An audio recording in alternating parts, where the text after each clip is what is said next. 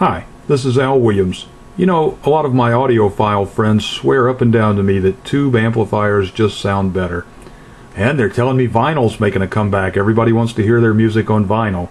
I got to thinking, you know, computers were made to do math using relays. After all, that's what the first computers did. It was good enough for them, it's good enough for me. And on April 1st, 2013, I set out to prove or disprove that theory. We have a GP3 hardware interface board here that takes serial or USB, brings it out to digital and analog. I'm only using the digital here. And I have two garden variety relays uh, wired up as mux logic.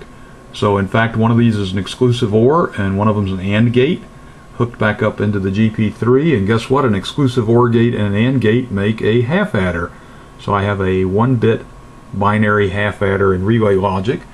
A little software here, let's just say uh, 1010 plus 11 and you can hear the relays clicking and clacking away to uh, give me the right answer here.